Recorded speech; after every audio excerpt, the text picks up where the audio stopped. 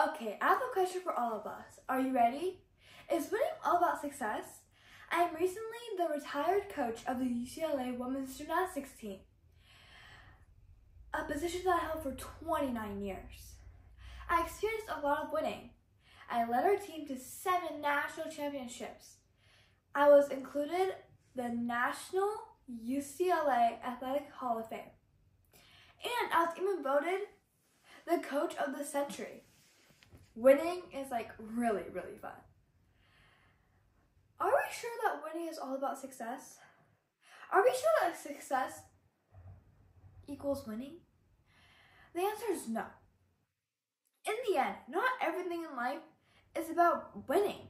For example, students are not going to be confident or motivated when people are supposed to trust. Like our own coaches are bringing us down.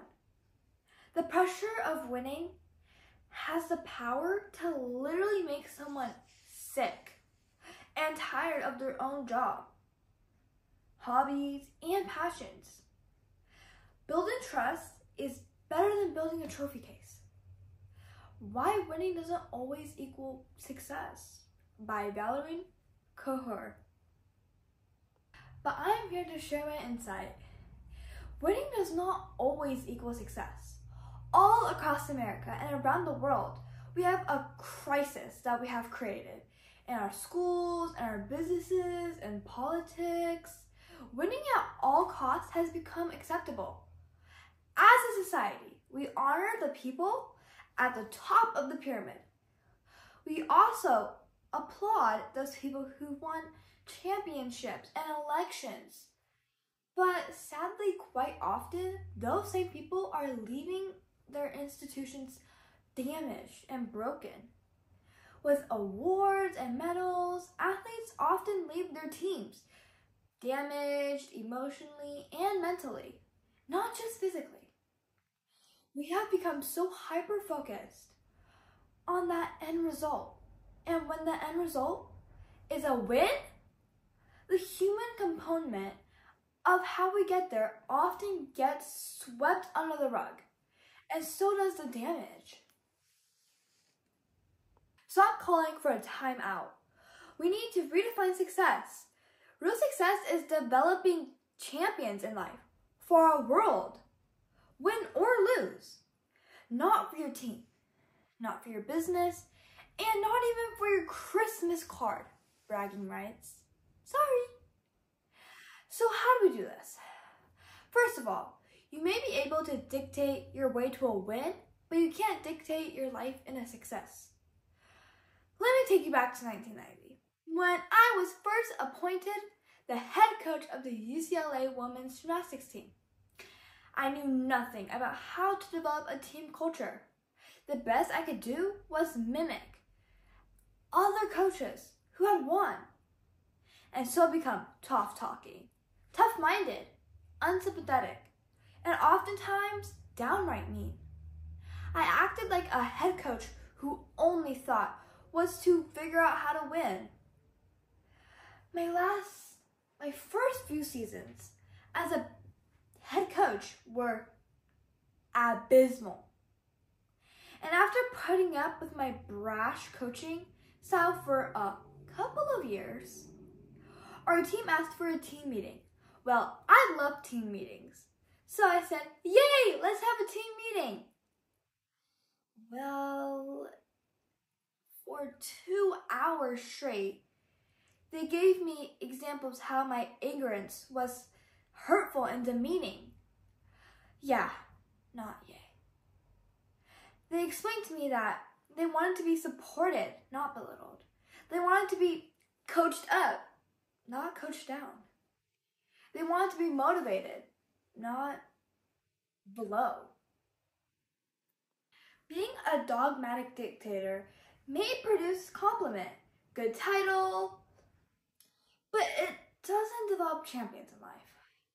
It is so much easier in any walk of life to dictate and give orders than to actually figure out how to motivate someone to want to be better. Reason is motivation takes a really long time to take root, but when it does, it is character building and life altering. I realized that I needed to fortify our student athletes as whole human beings, not just athletes who had won. So, so success for me changed. And instead of only focusing on winning, I learned to focus on developing my coaching skills and developing myself, which is developing champions in life through sport. And I knew if I did this well enough, that champion mentally would translate to the competition floor. And it did. The key ingredient way to develop peace and trust, respectful honesty and bravery. All of the ingredients that lead to self-love. Speaking of tough love, Katelyn Ohashi is a perfect example for this. You may have seen her floor routine. It has over 150 million views. And the consensus is her performance is pure joy. However, when Katelyn came to UCLA her freshman year, she was broken in body, mind, and spirit. She had grown up in a stereotypical high level athletic world, and she was damaged.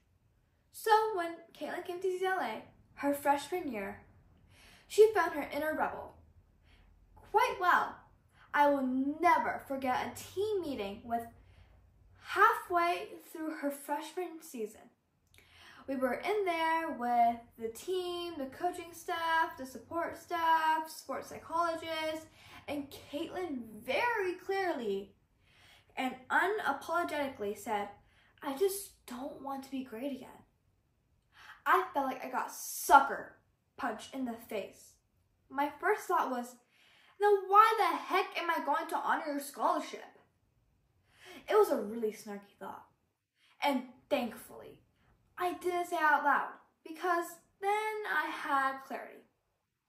Katelyn didn't hate gymnastics. Katelyn hated everything to associate with, with being great. Katelyn didn't want to be a winner. But everything about winning made her so happy. But the job was to figure out how to motivate her to want to be great again by helping her redefine success.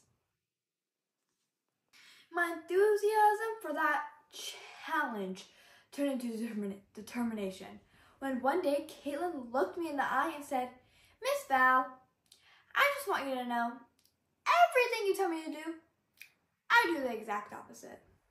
Yeah, Katelyn. Challenge, challenge accepted. Okay. So I embarked on the painfully slow process of building trust and proving to her that first and foremost, I cared about her as a whole human being. Part of my strategy was to only talk to Katelyn about gymnastics at the gym. But outside of gym, we talked about everything else. School, friends, hobbies, I encouraged her to find things outside of her sport that brought her joy. And it was so cool to see process of Katelyn Ohashi literally blossom before our eyes. And through the process, she rediscovered her self-love and self-worth. She was able to bring that joy back to her gymnastics. She went to earn the NCAA title on floor. So let's think about Katelyn Ohashi in your life.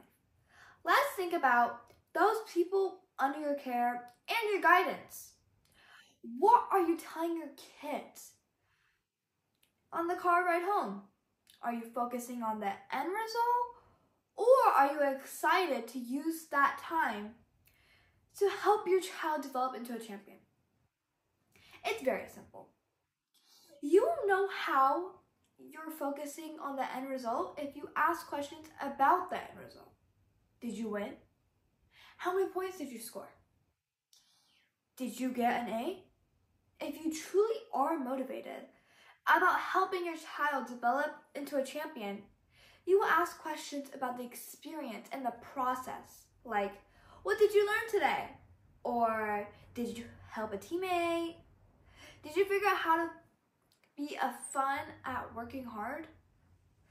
And then the key is to be very still and listen to their response.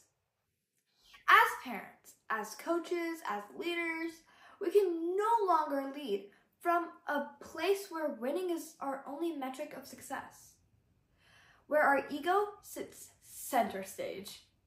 Because it had been proven that the process produces broken human beings. And I, empathetically, know that it is absolutely possible to produce and train champions in life in every single walk of life without compromising the human spirit. It starts with defining success for yourself and those under your care, and then constantly self examining whether your actions are in alignment with your goals.